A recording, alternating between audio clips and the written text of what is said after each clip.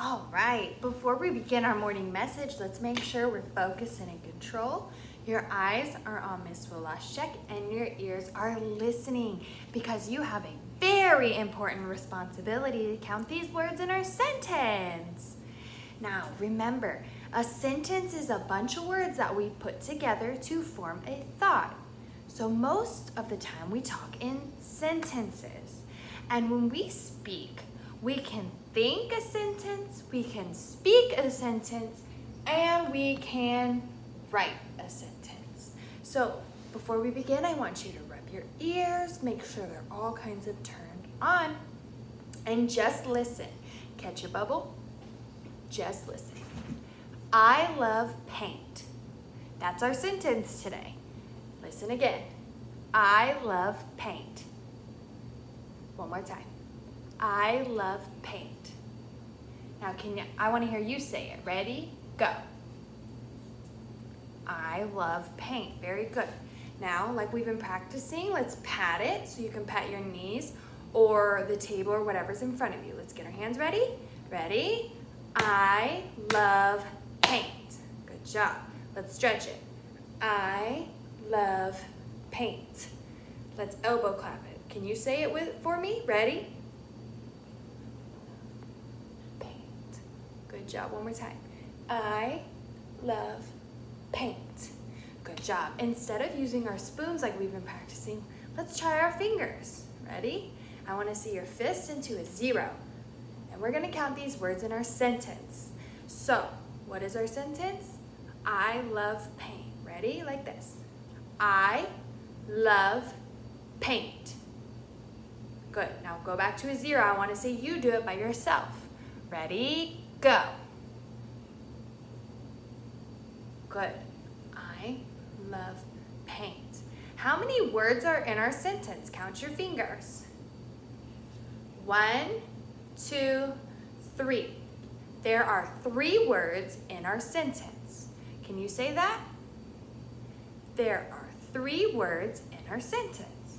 Well, now that we have thought about it, we have spoken it and counted it, it's time to write it.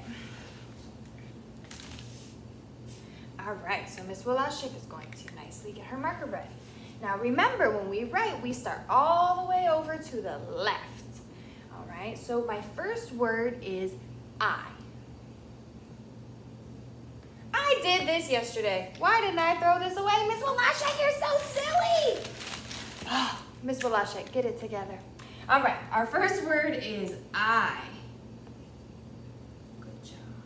And remember, we have to put a space because we have to separate our words. I, what's my next word? I love, and I put a space. I love paint. Now, we finished our, our thought, so we need to put a, do you remember what it's called? Period. This lets us know that our sentence is over. Good job. Thank you so much for helping me. Now that we've written it, let's read it. Ready? I love get your finger ready. I want you to point on your screen. Ready? I love paint. Great job. Remember to move your finger with every word. Now, we counted three words on our fingers. Now we have to check it. How many words do you see? Very good. You can look by looking at each word. But we're going to circle, we're going to practice circling our words and counting to make sure it's the same as what we said earlier. So count with me. Here we go.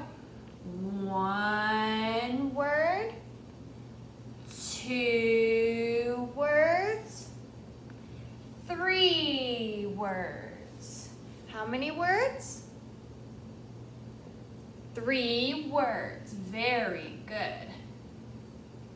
There are three words in our sentence.